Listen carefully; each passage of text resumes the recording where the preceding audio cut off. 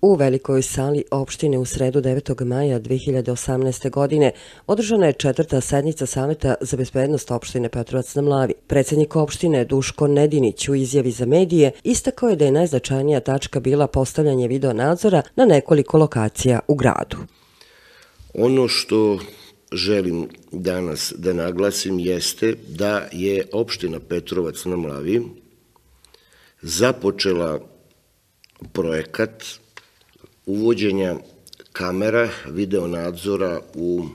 opštini Petrovac na Mlavi i to će da ide iz dva dela. Jedan je trenutno završen, vrednost investicije 5, 5 miliona plus PDV i na taj način pokušavamo da zavredimo pažnju naših građana, na taj način pokušavamo da i sada kada nije predizborno vreme, radimo na poboljšanju kvaliteta i bezbednosti svih naših građana. Smatram da uvođenjem video nadzora u opštinu Petrovac na Mlavi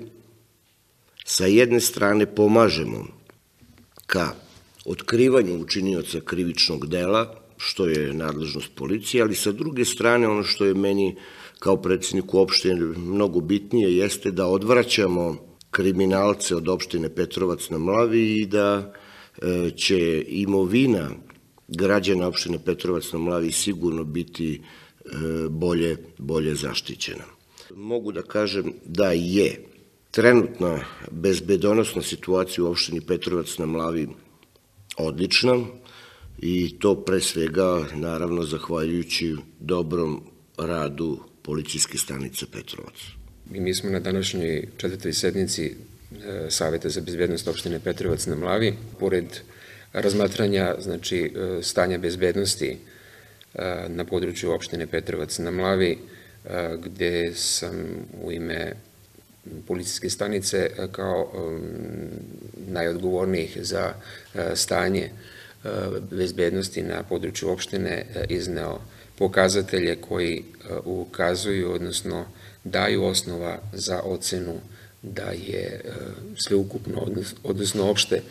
bezbednostno stanje na području opštine stabilno, povoljno, odnosno da e, građani e, ove opštine mogu da budu mirni, zadovoljni, odnosno da budu u situaciji da su sigurni da će pripadnici policijske stanice u Petrovcu u svim slučajima znači, reagovati efikasno